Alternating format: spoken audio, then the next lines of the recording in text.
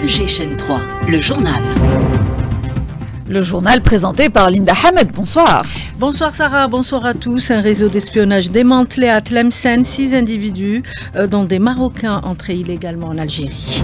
Sonelgaz exporte des bornes électriques fabriquées localement. Première livraison pour l'Italie et pour la Libye. Nouveau Nordisk, Algérie se prépare à exporter pour ce mois-ci des stylos d'insuline vers des pays africains. 18 jour de campagne, les candidats en liste n'ont que 48 heures pour achever leur programme. Raza et la Cisjordanie au cœur d'opérations militaires d'envergure, rétrospective de la journée dans cette édition. Et puis, Jeux paralympiques, une nouvelle médaille d'or pour l'Algérie, des 100 mètres, Skandar Hatmani. Mesdames, Messieurs, bonsoir. Le président de la République, Abdelmajid Tebboune, a réuni aujourd'hui le Haut Conseil de sécurité en sa qualité de ministre de la Défense nationale et chef suprême des forces armées. Ce réseau d'espionnage qui a été démantelé à Tlemcen avec des visées de déstabilisation de la sécurité du pays, le procureur de la République près la cour de Tlemcen a fourni quelques détails aujourd'hui.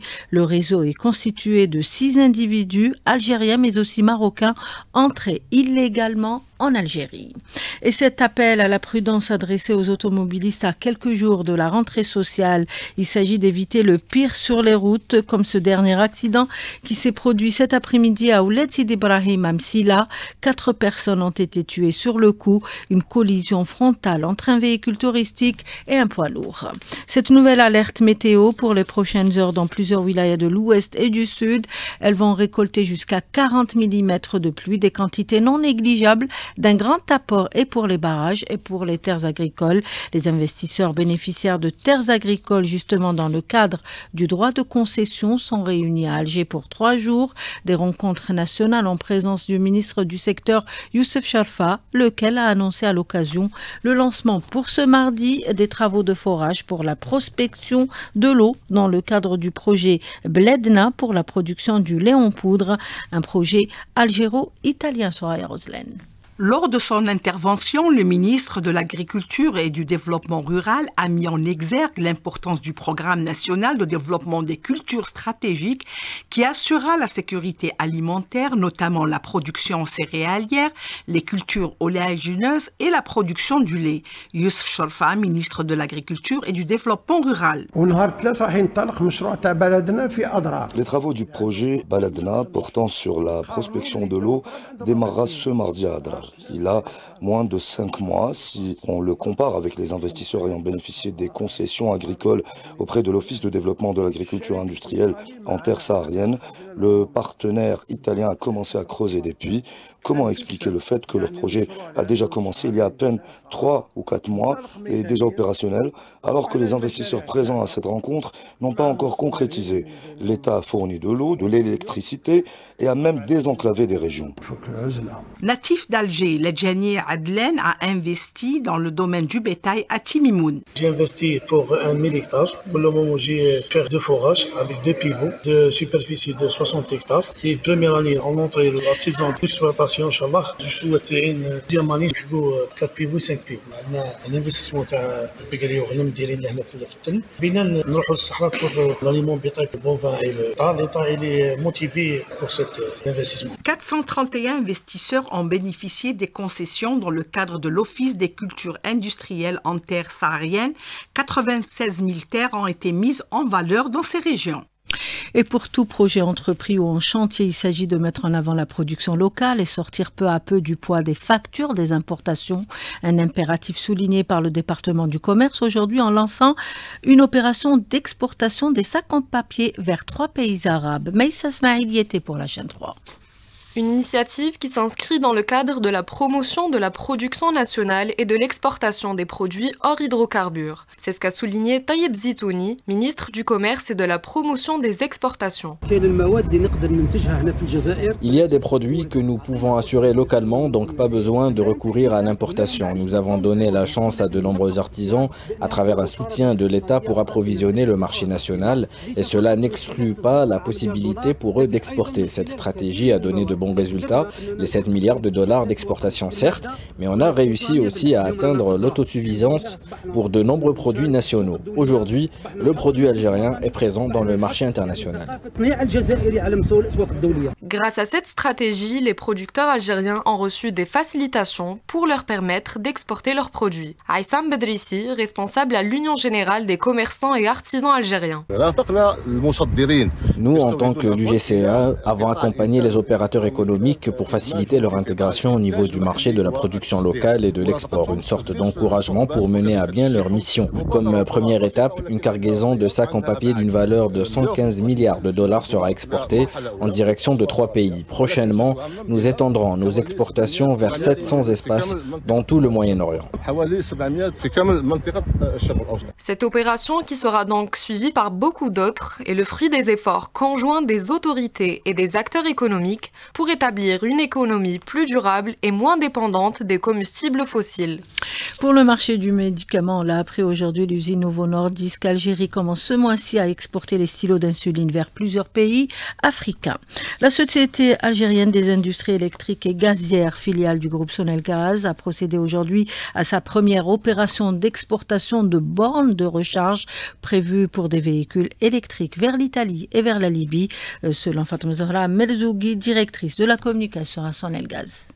Cette opération est la première d'un contrat qui prévoit l'exportation de 433 bornes d'une capacité de 60 kW et d'une vitesse de 322 kW vers la Libye et l'Italie. Ces bornes sont fabriquées conformément aux normes internationales de fabrication dans ce domaine. Nous avons plusieurs euh, autres contrats qui sont à un stade avancé des négociations commerciales pour exporter ce type de produits vers d'autres pays européens et euh, du Moyen-Orient. Pour rappel, ces bornes de recharge sont fabriquées par SAIEG, filiale du groupe Sonelgaz avec un taux d'intégration national de 58% que Sonelgaz ambitionne d'augmenter encore dans les prochains mois.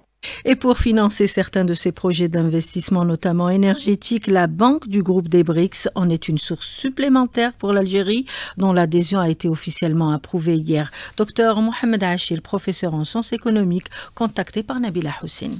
L'adhésion de l'Algérie au BRICS constitue une opportunité supplémentaire pour lever des fonds et financer davantage des projets d'investissement comme les projets des énergies renouvelables, les projets d'infrastructures euh, digitales, les projets de transport aussi, projets d'infrastructures, de construction de grandes infrastructures de transport, des ports, etc. La Banque des BRICS finance euh, énormément des projets aussi qui contribuent euh, à la réduction de la pauvreté, à l'équité sociale, mais aussi qui ont une empreinte euh, environnementale, mais aussi la Banque des BRICS est en train de préparer un nouveau système de paiement et de règlement international qui va être un peu concurrentiel au SWIFT par rapport euh, d'abord à l'utilisation du dollar. Donc la Banque des BRICS prépare en quelque sorte même la dédollarisation des échanges internationaux. Bon, ça va se faire euh, à long terme en quelque sorte parce que c'est une chose qui demanderait assez de temps, mais ça va donner une autre fenêtre pour l'Algérie en termes de financement euh, de son commerce extérieur, mais aussi en termes aussi de règlement de ses échanges extérieurs.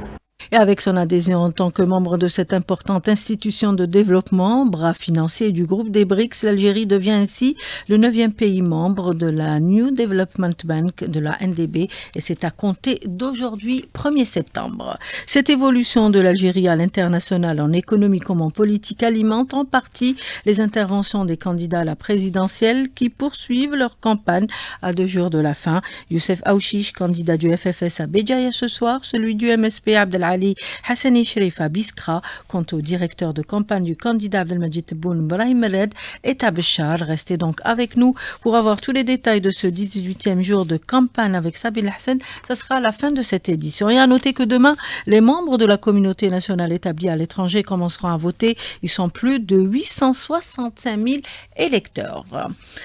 Premier forum parlementaire Indonésie-Afrique à Bali. L'Algérie a rappelé à l'occasion la responsabilité qui incombe au Conseil de sécurité dans la protection du peuple palestinien et dans l'accélération de la décolonisation au Sahara occidental, dernière colonie en Afrique. Le dossier sahraoui, on en parle justement. Le collectif des défenseurs des droits de l'homme au Sahara occidental dénonce de nouvelles violations des forces d'occupation marocaines. Elles ont pris pour cible une nouvelle fois des membres du CODESA aux aéroports des villes occupés de l'Ayoun et Dakhla en provenance de l'aéroport de Casablanca. Fouilles arbitraires et harcèlement continu, autant de mesures punitives dénonce le Codessa. D'autres droits continuellement bafoués, ceux des Palestiniens de Raza et de la Cisjordanie. Une rétrospective de cette journée particulièrement meurtrière avec Linda Bradma. L'ampleur et l'intensité de l'incursion des forces d'occupation sionistes pour le cinquième jour consécutif à Jenin sont extrêmement alarmantes selon Médecins sans frontières qui dénoncent l'accès bloqué aux établissements de santé et les tirs sur les ambulances. Les forces d'occupation sionistes ont tiré sur deux jeunes hommes ce dimanche à Jenin.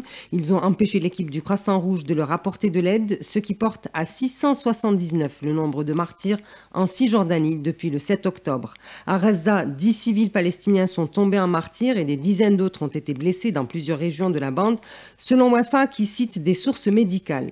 L'artillerie de l'armée sioniste a tiré des obus à l'est du camp El Bridge, dans le centre de la bande de Raza, faisant un martyr et en blessant d'autres. Le mois dernier, au moins 100 personnes ont été tuées, des dizaines d'autres blessées dans une frappe sioniste contre une école dans la ville de Raza, où plus de 6000 déplacés avaient trouvé refuge. L'Observatoire euro-méditerranéen des droits de l'homme a appelé ce dimanche à l'ouverture d'une enquête internationale sur les crimes commis par l'entité sioniste contre les Palestiniens le plus récent étant l'exécution d'un couple de personnes âgées à Khan Younes, au sud de la bande de Raza, lors de son attaque terrestre contre la ville ces derniers jours, et le meurtre d'une autre personne âgée à Jenin en Cisjordanie vendredi dernier.